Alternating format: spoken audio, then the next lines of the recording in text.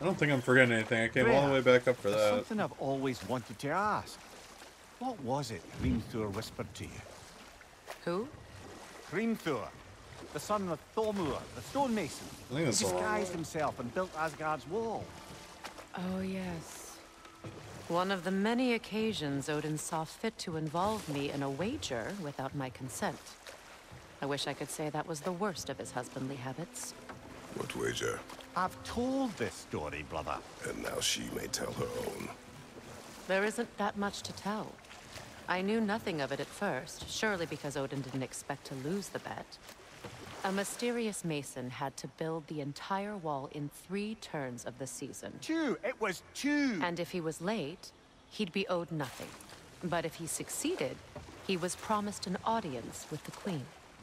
Or so I learned one day when Odin burst into our bedchambers, raging and half drunk before noon, telling me to get dressed and go see what the mason wants. So off I went, not knowing what had truly been promised or expected.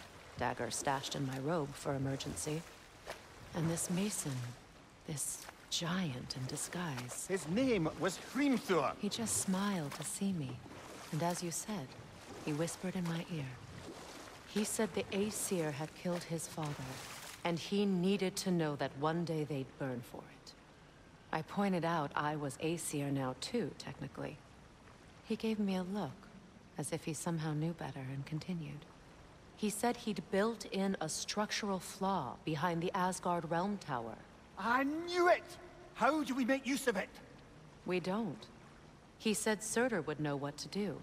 And if Surtur's approaching Asgard's wall, Then it is already Ragnarok. Aye, blast it. I hoped it might have given us another way.